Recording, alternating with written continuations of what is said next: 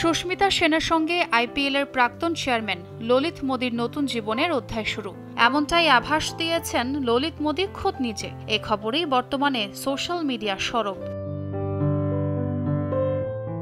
চোদ্দ জুলাই এক টুইটে এ বিষয়ে নিজেই জানিয়েছেন ললিত। প্রাক্তন মিস ইউনিভার্স সুস্মিতা সেনের সঙ্গে ঘনিষ্ঠ ছবি শেয়ার করেছেন এবং ক্যাপশনে সুস্মিতাকে নিজের বেটার হাফ বলে জানান দিচ্ছেন। এ নিয়েই নানান প্রশ্ন জেগেছিল নেটাগরিকদের মনে। তবে সব প্রশ্নের উত্তর মিলল ললিতের টুইটেই।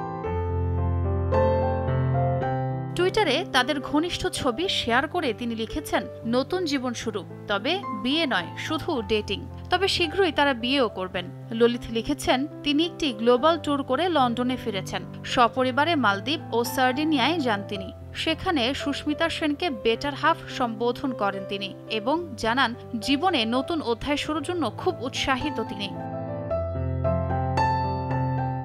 ললিতার এই টুইটের পর থেকে সোশ্যাল মিডিয়া জুড়ে রীতিমতো হইচই। যদিও এ ব্যাপারে মুখে কুলুপ এঁটেছিলেন সুস্মিতা, তবে এবার এ বিষয়ে মুখ খুলেছেন সুস্মিতার প্রাক্তন প্রেমিক রহমান।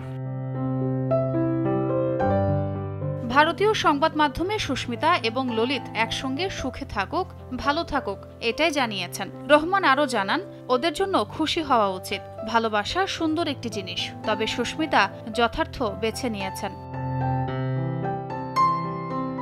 ছোয়া খন্দকার সময় সংবাদ।